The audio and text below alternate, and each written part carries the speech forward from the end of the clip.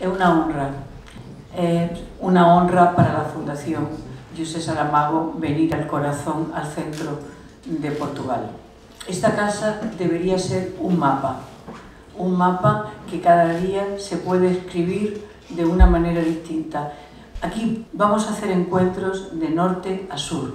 Eh, la parcería de la Fundación con Óvidos, Vila Literaria, mmm, va a consistir en que los sueños que nacen en la Casa dos Vicos y que se hacen realidad puedan venir hasta, hasta.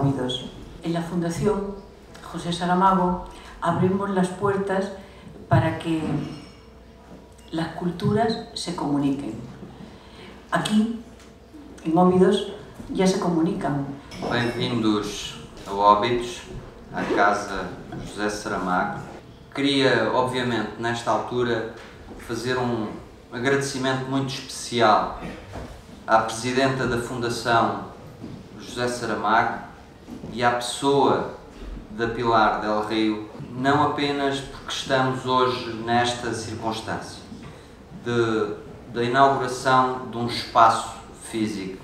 Para mim, muito mais importante do que o espaço físico é de facto aquilo que a partir de hoje se poderá passar dentro do espaço físico.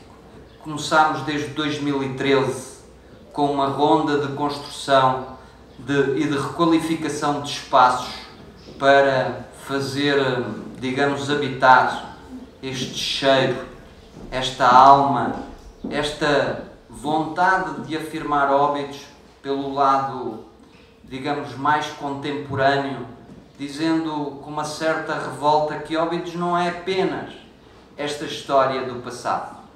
É feito todos os dias com a história do presente e com sonhos para o futuro. Este espaço de facto casa esta estratégia Óbidos Vila Literária, casa verdadeiramente com um homem grande, com um grande sonho, com uma grande capacidade criativa. José Saramago. Também precisamos que o Ministério da Cultura eh, olhe para esta estratégia não como uma estratégia de óbitos, porque ela deixou de ser já uma estratégia apenas de óbitos, mas passou a ser uma estratégia do país. O grande motor de desenvolvimento de um território, o grande motor, seja na dimensão económica, social, o grande motor desta diferenciação é e será a cultura.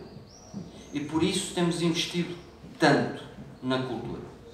E hoje é com agrado que podemos verificar que a política desses investimentos na cultura estão hoje a dar frutos. Óbidos é um exemplo da relação perfeita que é possível estabelecer e aprofundar entre o património e o valor cultural e intemporal do livro e da leitura, que passa de geração em geração. O livro cruza tudo isto: tempo, espaço, língua, cultura, património, imagem, suporte, fotografia, escrita.